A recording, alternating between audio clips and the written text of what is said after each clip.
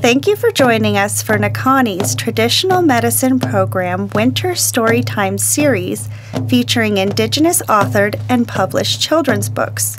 Tonight I will be sharing with you Raven and the Tide Lady, a story adapted for children by Tlingit author Pauline Duncan from the works of the late Nora and Dick Dauenhauer, with illustrations by Tlingit artist Michaela Goade and published by Sealaska Heritage Institute Baby Raven Reads program.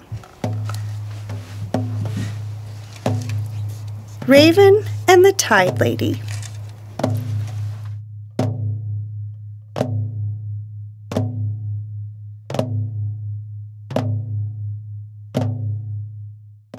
A little old lady controlled the tide. She never let the tide go down. Low. Raven was determined to bring back the low tide so foods could be gathered from the beach. Raven saw the tide lady sitting on the tide and began to think.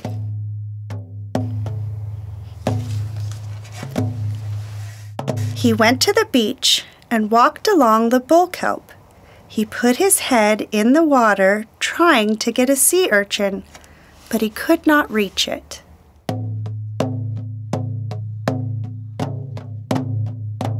Then Raven saw Mink. Mink, can you bring me a sea urchin? asked Raven.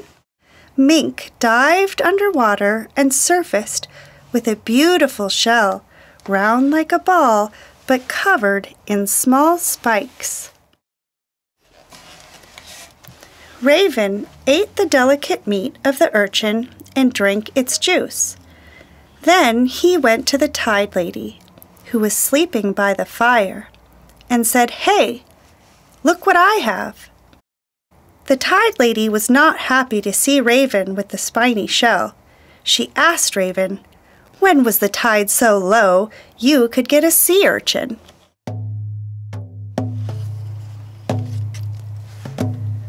With a stick, she chased Raven away.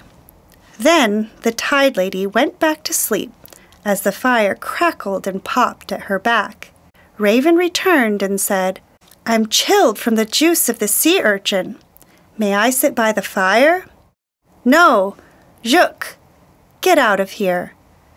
Please, I am chilled from the juice of the sea urchin. Please let me sit by the fire. The tide lady was angry. She did not understand how Raven had harvested the sea urchin. No, Juk, you cannot sit by the fire. She raised her stick again.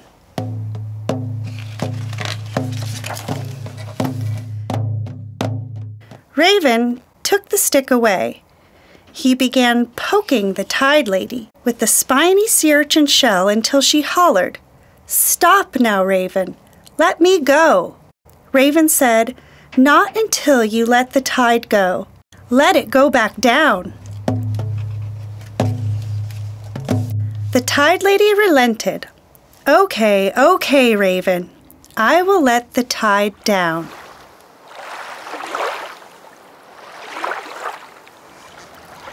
But Raven held on to the tide lady and hollered, Where are you, Gidzanuch?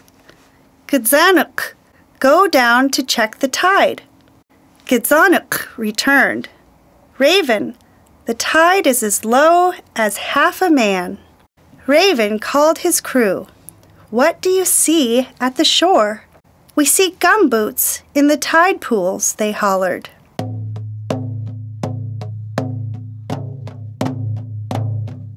And now, called Raven, we can gather seaweed on the rocks.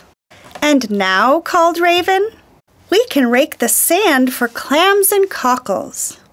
And now, called Raven, we are picking sea urchins at the edge of the surf, the crew hollered.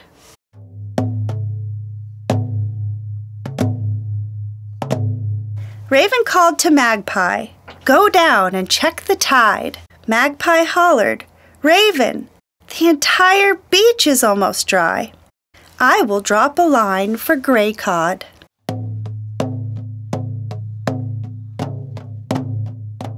So Raven let the Tide Lady go.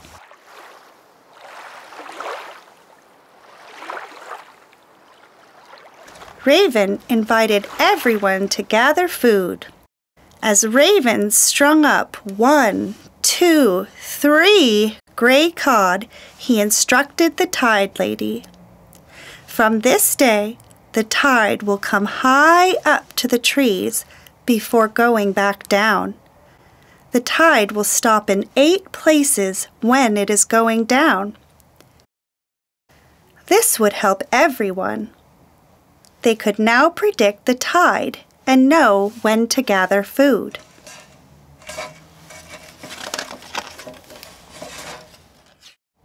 Now Raven was tired and hungry. He filled up one cod stomach with seal grease, lay down, and allowed the grease to drip into his mouth to reward his hard work. Mmm. The Tide Lady kept her promise and let the tide rise and fall. Today, when the tide is low, we can go down to the beach and gather clams, gum boots, sea urchins, seaweed, and much more.